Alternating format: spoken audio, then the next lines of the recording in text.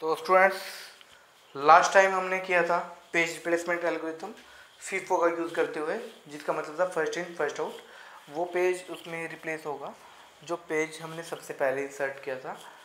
मतलब जैसे हम पिछले में, अगर हम एग्जांपल देखें तो वहाँ पे हमारे पास तीन पेज फ्रेम थे, और तीनों पेज फ्रेम्स में जो पेज सबसे पहले हमने इंसर्ट किया था, वो सबसे पहले रिमूव होगा।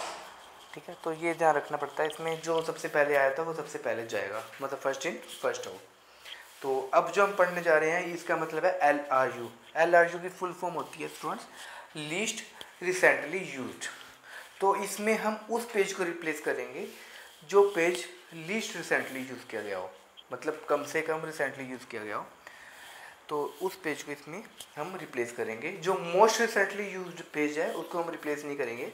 हम लीस्ट रिसेंटली यूज़ पेज को इसमें रिप्लेस करेंगे। मान लो तीन पेजेस हैं, और तीन पेजेस में जो लेटेस्ट दो हैं, उनको तो हम छोड़ देंगे।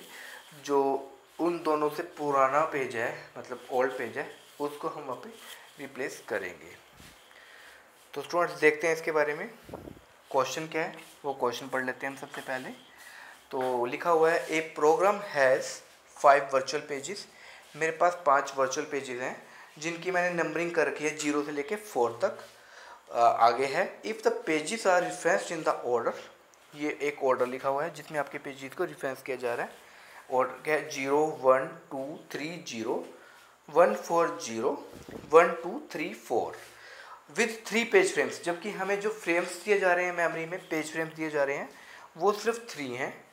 The total number of page faults with L R U will be equal to हमें नंबर ऑफ़ पेज फोर्ट्स बताने हैं, जो L R U replacement algorithm के बाद हमें मिलेंगे। एल आर का मैंने आपको मतलब बता दिया स्टूडेंट्स फुल फॉर्म भी बता दी।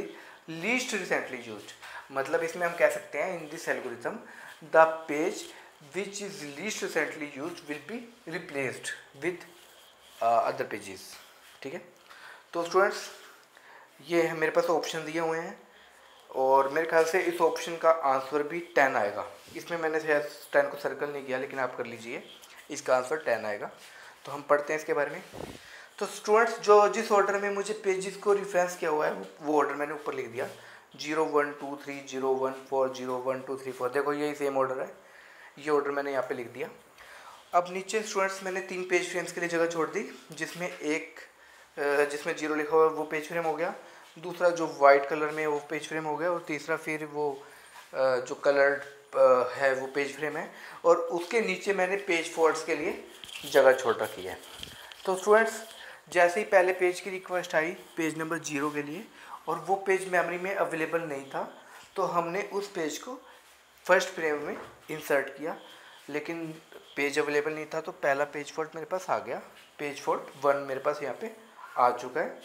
इसी तरीके से स्टूडेंट्स मैंने दूसरा पेज इंसर्ट किया, जो कि पेज नंबर वन था। और इसको मैंने page fault page page frame number two में इंसर्ट किया, क्योंकि ये पेज भी अवेलेबल नहीं था। तो मेरे पास पेज फॉल्ट यहाँ पे टू आ गया।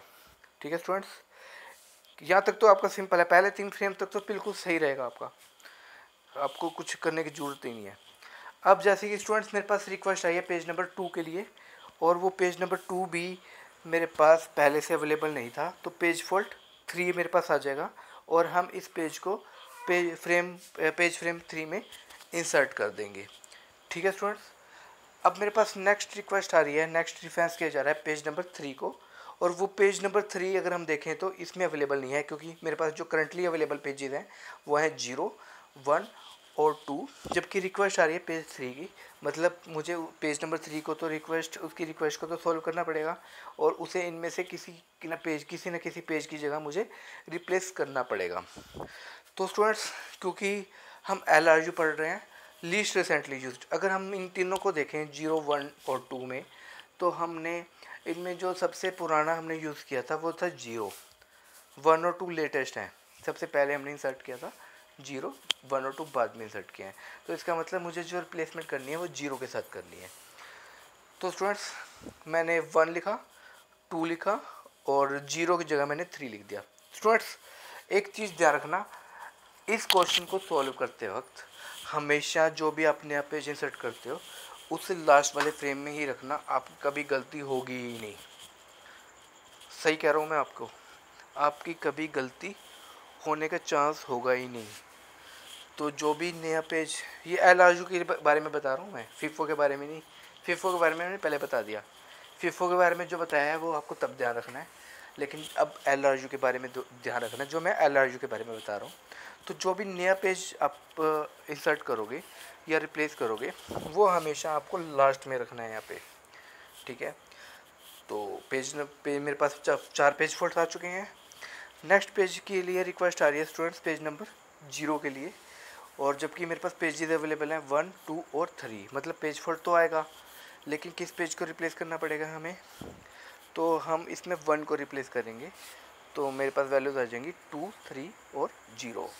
स्टूडेंट्स, इसमें ज़ीरो वाला पेज नंबर आपका लास्ट में इंसर्ट हुआ है तो इसको मैंने बिल्कुल लास्ट फ्रेम में ही रखा है। तो इसमें ये चीज़ ध्यान रखना है, जो भी नया पेज इंसर्ट होगा, उसे बिल्कुल हमें लास्ट फ्रेम में ही इंसर्ट करना है। तो यहाँ पे पेज फोल्ड मेरे पास फाइव आ चुका है। नेक्स्ट मुझे जो पेज इंसर्ट करना है स्टूडेंट्स वो है वन वन के लिए रिक्वेस्ट आई है। तो पेज फोल्ड तो आएगा, क्योंकि पेजेस अवेलेबल हैं टू थ्री और ज़ीरो जबकि मुझे वन के लिए रिक्वेस्ट आई है। तो पेज फॉल्ट तो आएगा। लेकिन किस पेज को रिप्लेस करना है हमें? इसमें हम सीधा सीधा टू को रिप्लेस कर देंगे। तो मेरे पास वैल्यू आ जाएगी थ्री ज़ीरो वन वन को मैंने लास्ट में रखा है। जो भी नया इंसर्टेड पेज हो इंसर्टेड पेज होगा उसे हम लास्ट में रखेंगे। तो गलती आने के चांसेस होंगे ही नहीं। पेज फोर्टी सिक्स हो गया ये। नेक्स्ट रिक्वेस्ट आ रही है स्टूडेंट्स फोर की। और फोर पेज नंबर भी आपका अवेलेबल नहीं है। पेज पे, क्योंकि पेजेस अवेलेबल हैं। वन ज़ीरो और थ्री तो पेज हम इंसर्ट करना है, लेकिन लास्ट में इंसर्ट करेंगे। रिमूव किसको करेंगे? थ्री को रिमूव करेंगे। तो हम लिखेंगे ज़ीरो वन एंड फोर लेकिन पेज फोल्ड मेरा ये सेवन हो चुका है। अब स्टूडेंट्स अब थोड़ा सा इंटरेस्टिंग टॉपिक है। अब जो बताने जा रहा हूँ, बहुत ही इंटरेस्टिंग है। फीफो में हमने, अभी तक जो भी किया था, वो फीफो के हिसाब से चल रहा था फीफो में भी हम ऐसे ही करते हैं, जो पहले वाला है, उसको हम रिमूव करते हैं, जो लास्ट में लास्ट में हम इंसर्ट करते हैं। मतलब पहले वाले को रिमूव करते हैं और लास्ट वाले में हम इंसर्ट करते हैं। यहाँ भी हम ऐसे कर रहे थे कि जो भी नया इंसर्टेड पेज था, उसे हम लास्ट वाले फ्रेम पे ही रख रहे थे। जबकि डिलीट करते टाइम हम पहले वाले फ्रेम में जो पेज नंबर था, उसको डिलीट कर रहे थे। लेकिन वहाँ पे आपने एक चीज़ नोट की होगी, जब ऐसी कोई चीज़ आ जाती है कि कोई पेज आपका ऑलरेडी अवेलेबल है और उस पेज की रिक्वेस्ट आ जाती है तो हम उसे एज इट इज़ लिख देते हैं। लेकिन यहाँ पर हम ऐसा नहीं लिखेंगे। हम जिस पेज की भी रिक्वेस्ट आ रही है, उस पेज को लास्ट में ही लिखेंगे। चाहे वो पेज मुझे इंसर्ट करना है या नहीं करना। अब इसमें जैसे पेज नंबर ज़ीरो की रिक्वेस्ट आई है, लेकिन इस पेज को मैं लास्ट में लिखूँगा। तो पहले मैं क्या लिखूँगा? वन को, फिर फोर को, और फिर उसके बाद ज़ीरो लिखूँगा। पहले वन को लिखा मैंने, फिर फोर को लिखा, और फिर उसके बाद मैंने ज़ीरो को लिखा। तो जो भी जिस पेज की भी रिक्वेस्ट आएगी, वो लास्ट में लिखूँगा। जबकि फिफो में हमने ऐसा कुछ नहीं किया। फिफो में हमने एज इट इज़ रहने दिया था। लेकिन यू में हम ऐसा कर रहे हैं। अब इसी तरीके से स्टूडेंट्स पेज नंबर वन के लिए रिक्वेस्ट आई है। तो इसको भी हम लास्ट पेज फ्रेम पे रखेंगे। तो पहले मैं रखूँगा फोर को, फिर ज़ीरो को और फिर वन को। स्टूडेंट्स इस केसेस में, इन केसेस में पेज फॉल्ट नहीं आया, क्योंकि पेजेस मेरे पास ऑलरेडी एग्जिस्टेड थे। तो कोई भी पेज फॉल्ट नहीं आया। लेकिन स्टूडेंट्स अब पेज की रिक्वेस्ट आ रही है पेज नंबर टू के लिए। और पेज नंबर टू अवेलेबल नहीं है। तो पेज फॉल्ट आ जाएगा। लेकिन हम इंसर्ट किसकी जगह करेंगे? हम इसमें क्या करेंगे? हम फोर को रिमूव करेंगे। ज़ीरो वन और टू आ जाएगा मेरे पास से। ज़ीरो वन और टू ठीक है? पेज फॉल्ट एट हो गया। अब स्टूडेंट पेज नंबर थ्री की रिक्वेस्ट आ रही है। तो हम इसमें ज़ीरो को रिमूव कर देंगे। वन टू थ्री रहेगा और पेज फॉल्ट ये नाइन हो जाएगा। इसी तरीके से स्टूडेंट्स अब पेज नंबर फोर की रिक्वेस्ट आ रही है। और फोर अवेलेबल नहीं है तो पेज फॉल्ट तो आएगा। टेंथ पेज फॉल्ट नंबर होगा ये। लेकिन हम रिमूव किसको करेंगे वन को रिमूव करेंगे। तो मैं लिख दूँगा टू थ्री फोर इस तरीके से। स्टूडेंट्स आपने देखा कि जो भी, जिस पेज की भी रिक्वेस्ट आ रही है, उस पेज को मैंने लास्ट पेज फ्रेम पे रखा है। जबकि फिफो में तो हम सिर्फ़ जो इंसर्टेड पेज था, उसको ही लास्ट पेज फ्रेम पे रखते थे। किसी पेज, जो पेज, किसी पेज की रिक्वेस्ट आ रही है और वो पेज ऑलरेडी एग्जिस्ट है तो हम उसे एज इट इज़ उन फ्रेम्स को चलने देते थे। अब दोबारा नोट करना है एक बार फीफो में हमने कैसे किया था और एल में हम कैसे कर रहे हैं। दोनों टाइप के आप प्रैक्टिकली दोनों टाइप के आप क्वेश्चंस करोगे ना तो आपको डिफरेंस क्लियर हो जाएगा। और मैं सही बता रहा हूँ, अगर आपने ये क्वेश्चन कर लिया ना तो आपका एक नंबर तो पक्का हो गया, क्योंकि वहाँ पर तो एक एक नंबर का ही रोला होता है एक एक नंबर के पीछे मेरिट रह जाती है।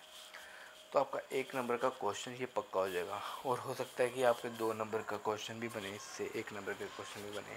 डिपेंड करता है। लेकिन एक नंबर का क्वेश्चन वो मोस्टली आ जाता है। तो इस तरीके से स्टूडेंट्स मेरे पेज फोल्ट यहाँ पे टेन हो चुके हैं। ठीक है स्टूडेंट्स तो कैसा लगा आपको ये वीडियो स्टूडेंट्स हाँ आपसे रिक्वेस्ट है कि आपको प्रैक्टिस ज़रूर करनी है। आपको फिफो की भी प्रैक्टिस करनी है एल की भी प्रैक्टिस करनी है। मेरे वीडियोज़ को देखना है आपने। पहले मेरे वीडियो को देखना है। फिर जो मैंने आपको क्वेश्चन करवाया है, उसी सेम क्वेश्चन को आपने खुद करना है। और फिर आपने डिफरेंस देखना है कि मैंने क्या करवाया था और आपने क्या किया। अगर जो मैंने करवाया था, वही आपने किया तो इसका मतलब आप सही जा रहे हो। अगर जो मैंने करवाया था और जो आपने किया है, वो मैच नहीं कर रहा तो इसका मतलब कहीं ना कहीं गलत जा रहे हो। ठीक है स्टूडेंट्स तो ये करना है आपको। Thank you very much video को शेयर लाइक सब्सक्राइब करते रहिए। धन्यवाद।